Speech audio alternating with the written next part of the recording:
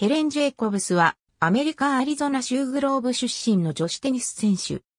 フルネームはヘレン・ハル・ジェイコブスという。1932年から1935年にかけて全米選手権4連覇を達成し、ウィンブルドン選手権でも1936年に優勝した。しかし、同じヘレンという名前のヘレン・ウィルス・ムーディに4、大大会女子シングルス決勝で6度も敗れたことから、1930年代の女子テニス界でヘレン・ザ・ファーストと呼ばれたムーディと対比されて、ジェイコブスは第二のヘレンと呼ばれた。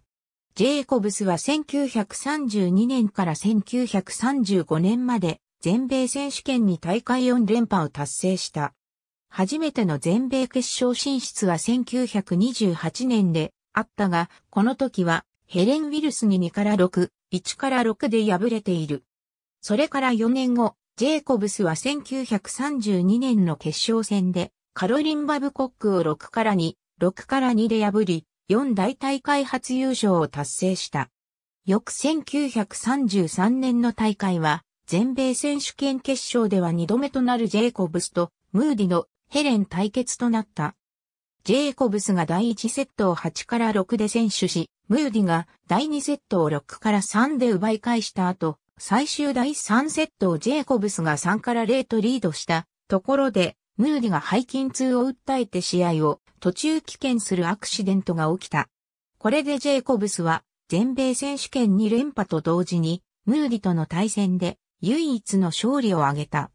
1934年と1935年の決勝ではジェイコブスはサラ・ポール・フリーに2年連続で勝っている。ところが、1936年の決勝でジェイコブスは華やかなキャラクターを持つアリス・マーブルに6から4、3から6、2から6の逆転で敗れ、大会後連覇を逃した。その後、ジェイコブスは1939年と1940年の全米決勝でもマーブルに敗れている。これで、ジェイコブスの全米決勝成績は4勝4敗で終わった。4度の準優勝は最初の時はムーディに、後の3回はマーブルに敗れたことになる。ヘレン・ジェイコブスは1936年のウィンブルドン優勝者となったが、ここでも不運が続き、通算で5度の準優勝がある。1934年の決勝戦だけは、相手はイギリスのドロシーラウンドであったが、他の4度はすべてムーディに敗れた。唯一の優勝となった1936年の決勝で、ジェイコブスは、ドイツのヒルデスパーリングに6から2、4から6、7から5で競り勝っている。スパーリングは1935年から1937年まで全仏選手権に大会3連覇を達成した選手であるが、ウィンブルドンでは1931年と1936年の2度準優勝に終わった。ムーディとジェイコブスによる二人のヘレンの歴史は1928年全米選手権の女子シングルス決勝戦から始まった。二人は通算11度対戦したが、ジェイコブスが勝ったのは1933年の全米決勝の一度だけである。全仏選手権での決勝対決は1930年の一度だが、ウィンブルドンの決勝では1929年、1932年、1935年、1938年の4度、敗れた。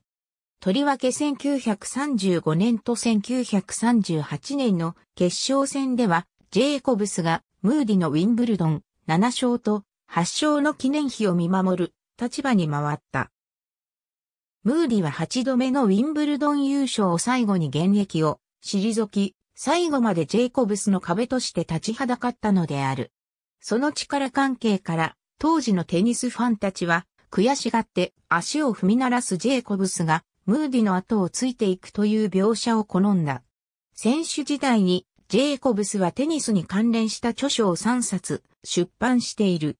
テニス経歴を退いた後、ヘレン・ジェイコブスは第二次世界大戦でアメリカ海軍に入隊して司令官の仕事に携わった。当時米国海軍で働いていた女性は、ジェイコブスを含めて5人だけだったという。ジェイコブスは1944年に、ストーム・アゲンスト・ザ・ウィンドという題名の小説も書いた。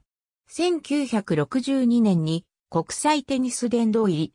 35年後の1997年6月2日、ヘレン・フル・ジェイコブスはニューヨーク州のイーストハンプトンにて心臓発作のため88歳で調整した。ありがとうございます。